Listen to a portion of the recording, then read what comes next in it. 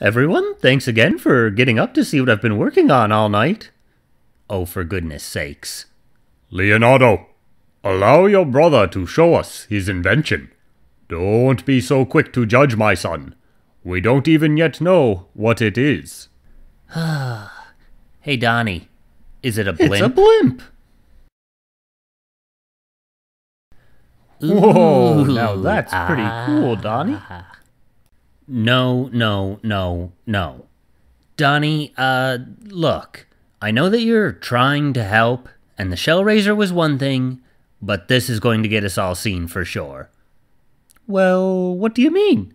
What do I. What do you mean, what do I mean? It's. it's gigantic. It's slow, it.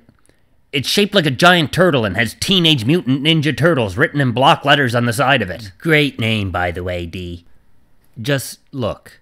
Can anyone here tell me how we're supposed to keep people from finding out about us if we're flying above the city streets in this thing?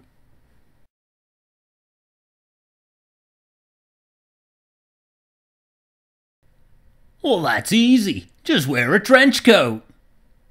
Wear a trench coat. Yeah.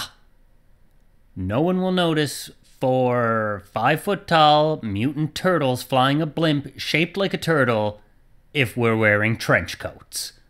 Ninjutsu 101! Look, how did you even get into this dimension? Wore a trench coat. I'll be in the blimp.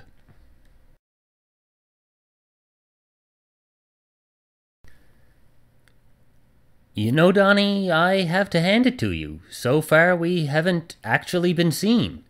It's like nobody in the whole city goes outside at night. Well, can you blame 'em? I mean, there's a new mutant criminal loose on the streets just about every week. You guys think there's a lot of mutant criminals now? Just wait till you see my next invention a helicopter that drops mutagen on criminals. Fine. Whatever. Build two. Dudes, who is this guy? Thanks for watching Fun Toy Vids for Kids. To check out the previous video in this series, look for the link in the description. Also, if you liked this video and you would like to see more, don't forget to let us know in the comments below and be sure to hit that like button.